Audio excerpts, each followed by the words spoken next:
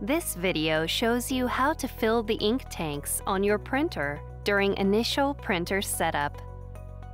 Before you begin, unpack your printer as shown on the Start Here sheet and place it on a level surface close to a power outlet.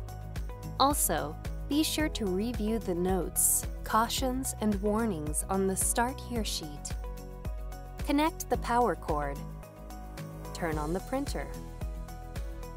Select your language.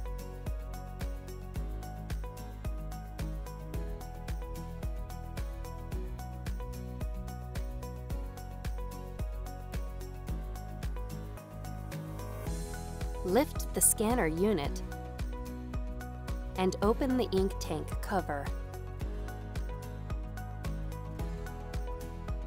Open the ink tank cap for the black ink tank labeled BK. Remove the black ink bottle from its packaging. Hold the bottle upright and slowly turn the bottle cap to remove it. Do not shake or squeeze the bottle. The top of each ink bottle is designed to fit into the ink tank slot of the same color. Insert the bottle into the slot. Wait for the ink to fill the tank. Do not squeeze the bottle. Ink flows into the tank and stops automatically when the ink is just below the upper line.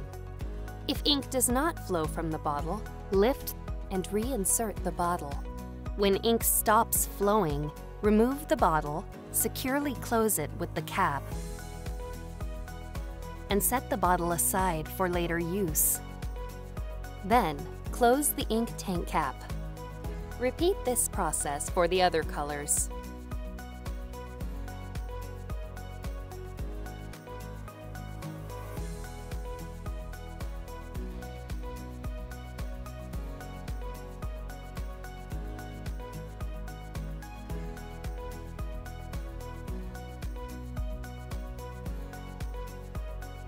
When you are finished filling the ink tanks, close the ink tank cover and lower the scanner unit. Press and hold OK for 5 seconds. When this screen appears, press Start to start charging the ink. Do not turn off the printer. Lift the scanner unit or load paper while the ink is charging, or you'll waste ink. A message appears on the screen when ink charging is finished. Follow the on-screen instructions to adjust the print quality. When you are finished adjusting the print quality, follow the rest of the instructions on the Start Here sheet to continue setting up your printer. Occasionally, check the ink levels as you use your printer.